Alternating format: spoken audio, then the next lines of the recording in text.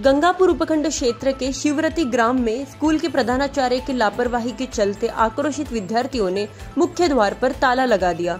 इन छात्रों के मुताबिक विद्यालय में कुल तीन सौ छप्पन छात्र और छात्राएँ हैं। पहली कक्षा से पांचवी कक्षा तक एक सौ छप्पन छात्र छात्राएँ हैं। यहाँ के बच्चों को पढ़ाने के लिए वर्तमान में चार अध्यापक है। यह स्कूल एक ऑफ़िस और कमरों के साथ ही गाँव में चल रहा है। 2017 में बने इस स्कूल भवन में एक ऑफ़िस और 11 कमरे हैं।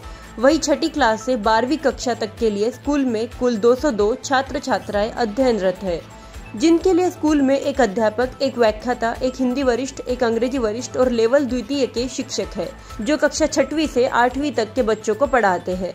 स्थानीय लोगों के मुताबिक स्कूल में एक शारीरिक शिक्षक है, जबकि गणित, विज्ञान, हिंदी, भूगोल और संस्कृत विषय के लिए स्कूल में कोई अध्यापक ही नहीं है।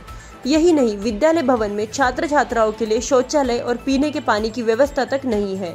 बच्चों के मुताबिक स्कूल का प्रधानाध्यापक कौन है, उसका नाम तक उन्हें नहीं पता है, क्योंकि उन्होंने स्कूल में कभी प्रधानाध्यापक को देखा ही नहीं। आपको बता दें कि बच्चों के इस प्रदर्शन के बाद शहाड़ा संस्था प्रधान सुनीता चंदेल को विद्यालय से हटाकर सीपी ऑफ़िस सहाड़ा में एपीओ कर दिया गया है और स्कूल के ताले खुलवा कर छात्र छात्राओं को पढ़ाई करने के लिए कमरों में भी बिठा दिया गया है।